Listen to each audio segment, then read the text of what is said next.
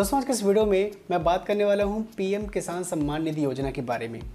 अर्थात प्रधानमंत्री किसान सम्मान निधि योजना क्या है और ये योजना किन किसानों के लिए फ़ायदेमंद है? कौन कौन इसका लाभ ले सकता है या फिर लाभ ले रहा है?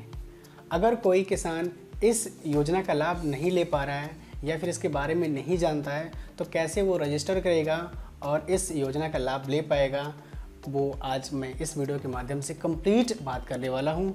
तो अगर आप इस चैनल पर नए हो तो मैं इसी तरह के वीडियोस पोस्ट करता रहता हूँ, जो भी गवर्नमेंट वाली चीज़ें होती हैं एप्लीकेशंस होता है, कुछ योजनाएँ होती हैं, कुछ अनबॉक्सिंग होता है, कुछ ट्रिक होता है, ऐसे संबंधित। तो आप चैनल को सब्सक्राइब कर लें, बगल में बेल आइकन है क्लिक करके नोटिफिकेशन ऑन कर लें, ताकि जब भी मैं नए वीडियो अपलोड करूँ तो आप तक तो नोटिफिकेशन पहुँच सके। तो चलिए वीडियो को स्टार्ट करते हैं और बात करते हैं कि पीएम किसान सम्मान निधि योजना क्या है और क्यों इसको लॉन्च किया गया था। तो सबसे पहले हम बात करते हैं कि इस योजना को क्यों लॉन्च किया गया था, क्या ज़रूरत पड़ी कि इस योजना को हमें इंट्रोड्यूस करना पड़ा। 2019 में जब किसानों के कर्ज माफ़ करने की बात आई थी तो ये चीज़ सोचा गया कि अगर एक ही बार हम किसानों का कर्ज माफ़ कर देते हैं तो क्या अगली बार उन्हें फिर से कर्ज नहीं लेना पड़ेगा? बिल्कुल लेना पड़ेगा। तो एक हम स्थायी सोल्यूशन निकालते हैं, जिसके थ्रू जो है जो किसान हैं, उनको राहत मिल पाए और कम से कम कर्ज लेने की वो कोशिश करें या फिर जो है वो कर्ज ना ही लें। तो ऐसे में एक योजना चलाई गई, जिस योजना को, का नाम दिया गया पीएम किसान सम्मान निधि योजना। इस योजना में जो भी एलिजिबल या फिर जो भी योग्य किसान होते हैं, उनको, उनके खाते में छः हज़ार रुपये हर साल ट्रांसफ़र किया जा रहा है और जो ट्रांसफ़र करने का रेट है वो टू थाउज़ेंड रुपीज़ पर फोर मंथ पे किया जाता है। यानी हर चार महीने पे दो हज़ार रुपये इनको ट्रांसफ़र किया जाता है। यानी तीन किस्तों में छः हज़ार रुपये इनको, इनके डायरेक्ट खाते में ट्रांसफ़र किया जाता है, जिससे इनको काफ़ी राहत मिलती है। तो 2019 से ये सुविधा को इंट्रोड्यूस कराया गया था और तब से हम इस चीज़ का लाभ ले रहे हैं। तो अब तक जो है वो पाँच किस्त किसानों को मिल चुका है अब छठी किस्त का इंतज़ार है, क्योंकि अभी बैक टू बैक यानी लगातार उन्हें, ये किस्त मिला है। अप्रैल में अभी आपको दो हज़ार रुपये मिला है, उन किसानों को मिला है। और अभी जो है मई के फ़र्स्ट वीक में ही आज पाँच है तो फ़र्स्ट वीक में ही उनको अगला किस्त, यानी छठा किस्त मिल जाएगा। तो ये बहुत अच्छी बात है कि इस लॉकडाउन में जो किसान हैं, वो अपना काम कर सकें, क्योंकि इस समय इनकम का सोर्स कहीं से भी नहीं है। अब बात करते हैं कि पीएम किसान सम्मान निधि योजना की एलिजिबिलिटी क्या है? कौन कौन से ऐसे किसान हैं जो इस योजना का लाभ ले पाएँगे? तो सबसे पहले जो किसान इस फॉर्म को अप्लाई करेगा, इस योजना का लाभ लेना चाहता है, उसके पास कम से कम उसके नाम से दो हेक्टेयर की ज़मीन होनी चाहिए। वो कोई गवर्नमेंट एम्प्लॉय नहीं होना चाहिए, कोई टैक्स दाता नहीं होना चाहिए कि ऐसा नहीं कि वो टैक्स पे कर रहा हो गवर्नमेंट जॉब कर रहा हो तो वो एलिजिबल नहीं हो सकता। फिर जो उसके बैंक अकाउंट का इन्फॉर्मेशन है और जो आधार कार्ड का इन्फॉर्मेशन है वो बिल्कुल सेम होना चाहिए डिफरेंसेस नहीं होने चाहिए उसमें। तो ये सारी चीज़ें अगर वो उसके पास है, ये सारा दस्तावेज़ उसके पास है तो वो इस फॉर्म को अप्लाई कर सकता है और इस योजना का लाभ ले सकता है। अब जो किसानों के लिए खुशखबरी ये है कि जो उनको छः हज़ार रुपये चार महीने पे, दो दो हज़ार रुपये करके मिलता था, तीन किस्तों में, अब वो तीन किस्त लगातार मिलेगा, यानी हर महीने आपको दो हज़ार रुपये आपके खाते में ट्रांसफ़र होगा, जिससे आप इस लॉकडाउन में खेती के काम कर सकें आसानी से। तो चलिए अब हम बात करते हैं कि किन किन किसानों को इस योजना का लाभ मिल रहा है, वो कैसे चेक करेंगे कि वो इस क्राइटेरिया को पार कर चुके हैं कि नहीं कर चुके हैं, उनको ये सुविधा मिल रही है कि नहीं मिल रही है। इसके लिए आपको इसके वेबसाइट पे जाना होगा और वहाँ से जाके आप सारा डिटेल ले सकते हैं। अपने गाँव का नाम जो है उसमें एंटर करेंगे। तो आपको उस गाँव में जितने लोग होंगे जो जो इस सुविधा का लाभ ले रहे हैं, उनका सारा डिटेल निकल के आ जाएगा। तो आप उसमें अपना नाम भी चेक कर सकते हो। तो चलिए मैं आपको लेके चलता हूँ अपने कंप्यूटर पे और वहाँ पे मैं आपको चेक करके बताऊँगा कि आप इस योजना का लाभ ले रहे हैं कि नहीं ले रहे हैं। और अगर न, अभी तक नहीं लिया है तो कैसे आप इसका लाभ लेंगे, कैसे रजिस्टर करेंगे। आप अगर फ़ोन यूज़ करते हो तो फ़ोन से भी आप रजिस्ट्रेशन कर सकते हो। इस पर भी मैं एक सेपरेट वीडियो बना दूँगा। अभी फ़िलहाल मैं लैपटॉप पे काम कर रहा हूँ। तो आप लैपटॉप से भरो या फिर फ़ोन पे भरो, सारी सुविधाएँ एक ही जैसे हैं। अगर फ़ोन से आपको भरना है तो आप गूगल क्रोम ओपन करके, अब जो प्रोसीजर मैं यहाँ पे इस लैपटॉप या फिर पीसी पे अप्लाई करूँगा, वही चीज़ आपको वहाँ पे भी करना है। तो सबसे पहले आपको जाना होगा गूगल क्रोम के सर्च बार पे, और यहाँ पे आपको एंटर करना होगा P Kisan dot G O V dot in enter करेंगे तो आपको इस टाइप इंटरफेस देखने को मिलेगा। पीएम किसान सम्मान निधि का आपका भी पोर्टल यहाँ पे ओपन हो जाएगा। फिर आपको जाना होगा यहाँ पे फार्मर्स कॉर्नर पे। और यहाँ पे इतने सारे लिस्ट आपको देखने को मिल रहे हैं। तो सबसे पहले ऊपर दिख रहा है कि new for new farmer registration मतलब अगर आपको इस योजना का लाभ लेना है तो नया रजिस्ट्रेशन कैसे अप्लाई करेंगे, वो मैं आपको बताऊँगा अभी। तो यहाँ से करेंगे, फिर यहाँ से अगर आधार कार्ड आपका फेल्योर हो गया है उसमें सबमिट नहीं हो पाया है तो यहाँ से आप चेक करोगे।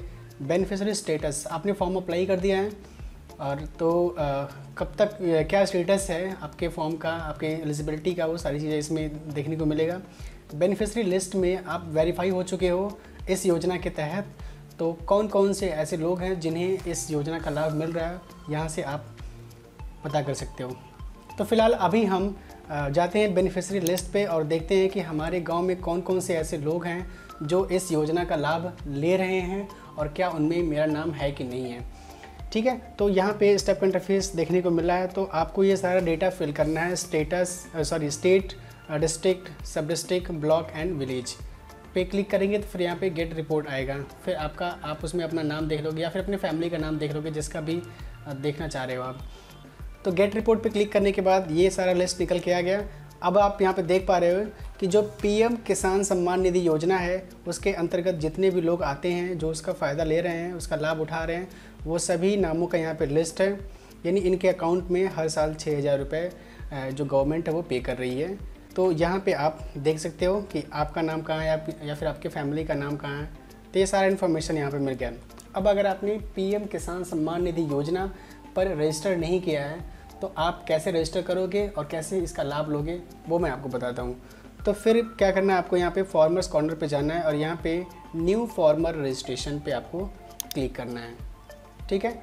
और ध्यान रहे कि मैंने बताया है कि उसी का आप फॉर्म भरोगे, जिसके नाम पे ज़मीन जो है वो दो हेक्टेयर से कम हो। ठीक है? दो हेक्टेयर तक ज़मीन होनी चाहिए। यहाँ पे उनका जो है आधार कार्ड डालना है, आधार नंबर डालना है, फिर यहाँ पे कैप्चा कोड है, उसको भरना है। फिर यहाँ पे आपको क्लिक हेयर टू कंटिन्यू पे क्लिक करना है।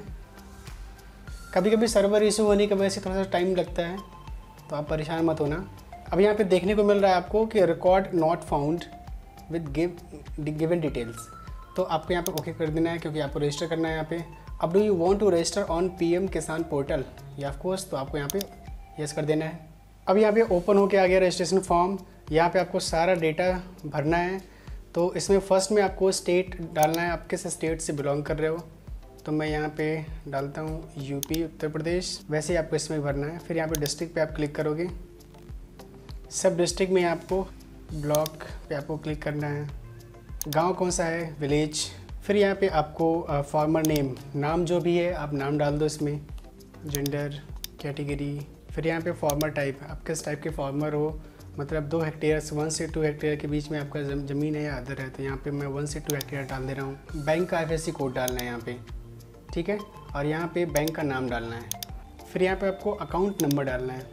बैंक अकाउंट नंबर डालना है। जो भी अकाउंट नंबर है, यहाँ पे एंटर कर देना है आपको। फिर यहाँ पे आपको अकाउंट नंबर डालना है। यहाँ पे आपका एड्रेस एंटर कर देना है कि एड्रेस क्या है। तो एड्रेस जो है, वही छोड़ सकते हो, कोई दिक्कत नहीं है। बाकी यहाँ पे जो आपका सबमिट फॉर आधार अथेंटिकेशन आपको इस पर सबमिट कर लेना है। फिर यहाँ पे आपको फॉर्मर अदर डिटेल्स है, ये कोई ज़रूरी नहीं है मैंडेटरी नहीं है कि आप इसे भरो तो आप इसे छोड़ सकते हो। फिर यहाँ पे आपको ऑनरशिप का डिटेल्स भरना है कि आप, की जो ज़मीन है, वो कितना है, उसका डिटेल आपको यहाँ पे देना है। तो यहाँ पे आप देख पा रहे हो कि यहाँ पे खाता नंबर चाहिए, फिर यहाँ पे खसरा नंबर चाहिए, फिर एरिया चाहिए, कितने हेक्टेयर में। अब ये कहाँ से मिलेगा? तो पहले आप इस पर जो ऐड पे आप जब क्लिक करोगे तो ऐड पे क्लिक करने पे अब यहाँ पे आपको खाता नंबर डालना है यहाँ पे खसरा नंबर डालना है और यहाँ पे कितने हेक्टेयर आपकी ज़मीन है वो यहाँ पे एंटर करना है। अब ये डेटा आप कहाँ से लेके आओगे? तो इसके लिए आप बगल में एक टैब खोलो और यहाँ पे आप सर्च कर लो या भूलिक जब आप सर्च करोगे फिर यहाँ पे फ़र्स्ट ऑप्शन ही यहाँ पे। फ़र्स्ट लिंक आपको क्लिक करना है। क्लिक करने के बाद आप आ, किस कहाँ से बिलोंग करते हो? ठीक है यूपी से है तो यहाँ पे यूपी का जो है आप देख लो। और यहाँ पे आप, आपको अपना जो है डिस्ट्रिक्ट चुनना है डिस्ट्रिक्ट कौन सा है? तो यहाँ पे मैंने कुशीनगर चुन लिया फिर यहाँ पे तहसील चुनना है तहसील कप्तानगंज फिर यहाँ पे आपको गाँव चुनना है तो यहाँ पे गाँव का नाम यहाँ पे पहले लीटर भरो गाँव का। तो ये हो गया के फॉर कालितिन ठीक है? अब यहाँ पे क्या करना है आपको? कैसे आप सर्च करना चाहते हो कि आप अपना जो खसरा संख्या से सर्च करना चाहते हो कि आप कैसे सर्च करना चाहते हो?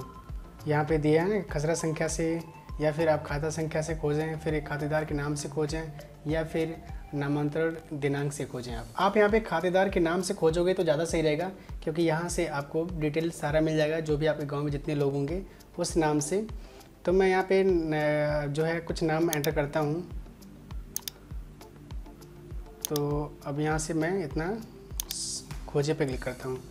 फिर देखता हूँ, जो भी आप यहाँ पर देख सकते हो कि आपके फैमिली का कोई नाम यहाँ पे मैच कर रहा है तो आप वो नाम देख सकते हो यहाँ पे।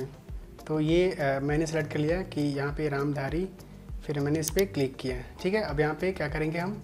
इसका उदाहरण देखेंगे उदाहरण इस पर क्लिक करेंगे। अब यहाँ पे आपको यहाँ पे कोड डालना है। इस कोड को डालते ही सारा डिटेल आपके सामने होगा और फिर आप इजीली इस फॉर्म को कंप्लीट कर पाओगे। फिर यहाँ पे कंटिन्यू कर देना है आपको। अब आप यहाँ पे देख पा रहे हो कि ये आपका जो खसरा है, वो खाता का विवरण है, वो निकल चुका है। आप यहाँ पे अपनी फैमिली का डिटेल्स दे सकते हो कि जो जो नाम है, वो दे सकते हो यहाँ पे। आप देखो, खसरा संख्या यहाँ पे 89 है। आपका जो क्षेत्रफल है, वो कितना है कि point one nine eight zero है और यहाँ पे आपका खाता संख्या इतना है। तो अब क्या करना है कि हमें ये डेटा चाहिए, खाता संख्या चाहिए, फिर यहाँ पे क्षेत्रफल चाहिए तो इतना हेक्टेयर में है ये। और ये हो गया आपका खसरा संख्या। तो ये तीनों जो है आप नोट कर लो। नोट करने के बाद जो है आपको अपने फॉर्म में एंटर कर देना है। तो यहाँ पे खाता संख्या एंटर करोगे तो खाता संख्या ये हो जाएगा आपका zero zero two six nine जो भी आपका वो एंटर कर देना है। यहाँ पे खसरा संख्या एटी नाइन हो गया। और यहाँ पे जो एरिया है, वो कितना है? तो एरिया यहाँ पे इतना है, इसको आप कॉपी कर लोगे या फिर लिखे रहोगे, आप यहाँ पे भर दोगे। फिर आपको करना है यहाँ पे ठीक है? और इतना हमने कर दिया।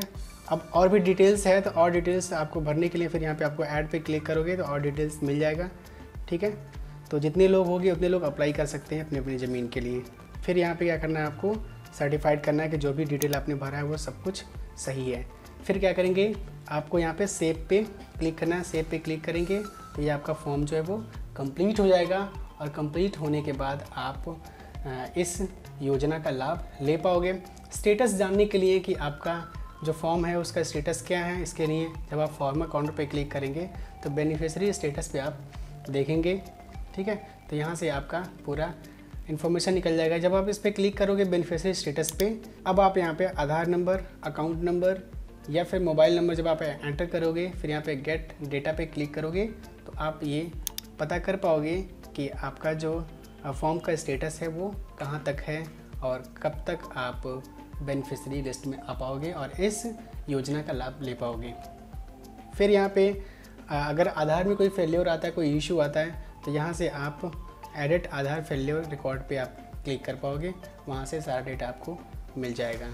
एक बार क्लिक करके देखते हैं क्या इसमें स्टेटस हमें देखने को मिलता है। यहाँ पे आपको आधार नंबर अपना डालना है और यहाँ पे वो कैप्चा कोड डालना है। तो फिर आप यहाँ पे सर्च करने के बाद आप देख पाओगे कि क्या इशू है आपके फॉर्म में, उसे आप दोबारा से सही कर पाओगे। तो आई होप आपको ये सारी चीज़ें क्लियर हो गई होंगी कि कैसे हमें इस फॉर्म को अप्लाई करना है रजिस्ट्रेशन कैसे करना है और कैसे हमने देखा कि हम इस लिस्ट में शामिल हैं कि नहीं हैं। तो आई होप आपको सारी चीज़ें क्लियर हो गई होंगी।